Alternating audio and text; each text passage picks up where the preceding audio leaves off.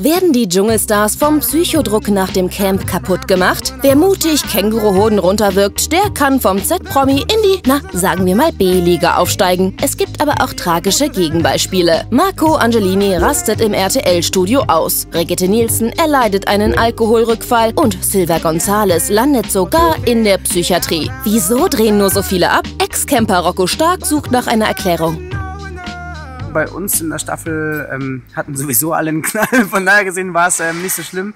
Ähm, nein, aber ich glaube, dass ähm, das prinzipiell jedem selbst überlassen ist.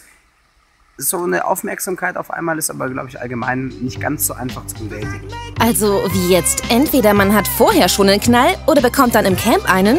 Es werden Missverständnisse. Wir glauben, der Dschungel macht aus allen Leuten jetzt plötzlich irre.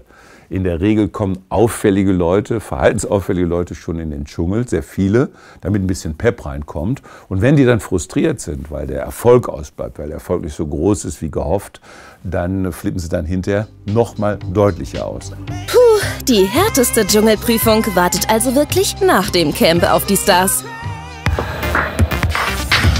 Wie die Mutter, so die Tochter. Das hier ist nicht etwa die kleine Surrey Cruise, sondern ein Kinderfoto ihrer prominenten Mama. Da ist die VIP-Lady gerade mal süße sieben Jahre alt, genauso alt wie ihr Töchterchen heute. Die Augen, das Stupsnäschen und dasselbe Lächeln. Der Apfel fällt wirklich nicht weit vom Promi-Baum. Ob Surrey wohl auch beruflich in Mamas Fußstapfen treten wird? Die richtigen Gene für eine Hollywood-Karriere hat sie jedenfalls.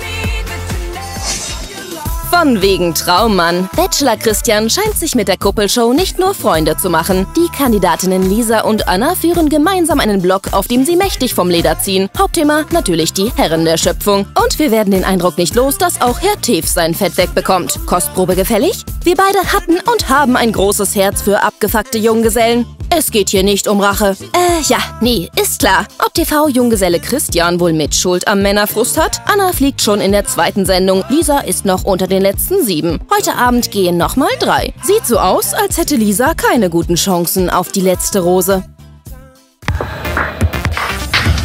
Ja, diesen Körper zieren tatsächlich rund 20 Tattoos. Die meisten versteckt Doreen Steinert ganz bewusst. Muss ja schließlich nicht jeder sehen. Für uns lüftet sie trotzdem eines ihrer wichtigsten Tattoo-Geheimnisse. Das hat mein Papa auch geschrieben. Weil ich konnte immer nicht äh, äh Krümel sagen und habe immer Trümel gesagt und dann hat er mich immer so genannt und dann hat er das da.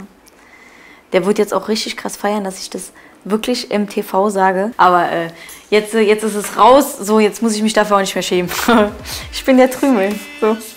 Och, dafür musst du dich auch echt nicht schämen, Doreen.